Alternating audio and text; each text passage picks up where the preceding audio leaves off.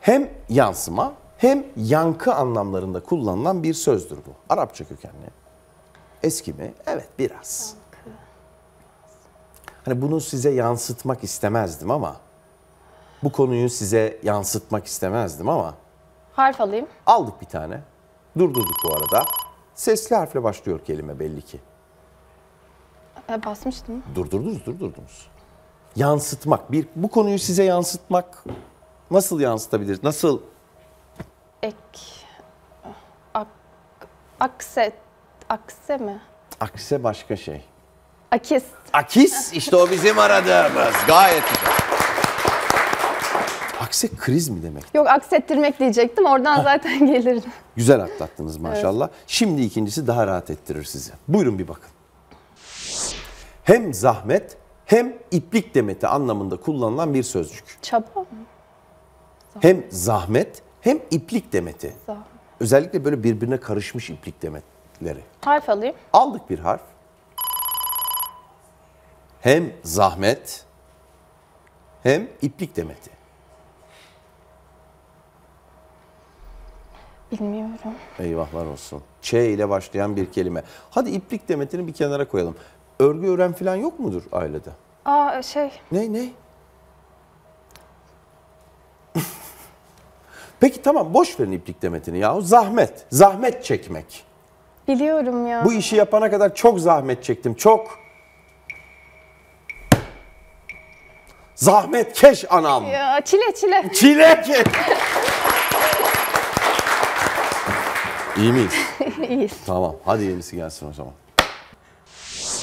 Bir atletizm dalında belli bir yükseklikteki çıtayı aşmak için kullanılan gerecin adı.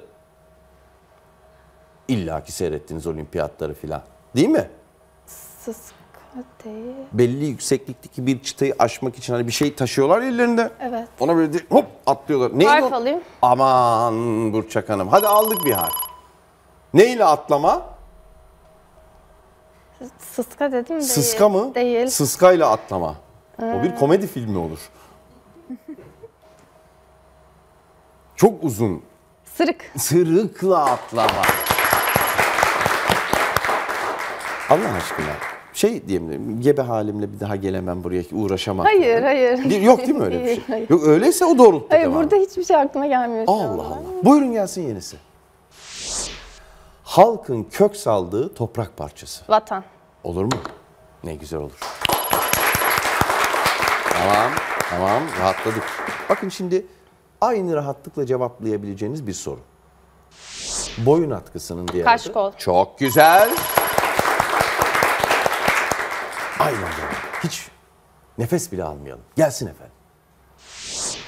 Başkalarının duyamayacağı şekilde gizli ve alçak sesle konuşma Fısıltı. tı gibi bir şey. Ama bunlar böyle sanki iki nida yan yana gelmiş. Harf alayım. Aldık bir harf.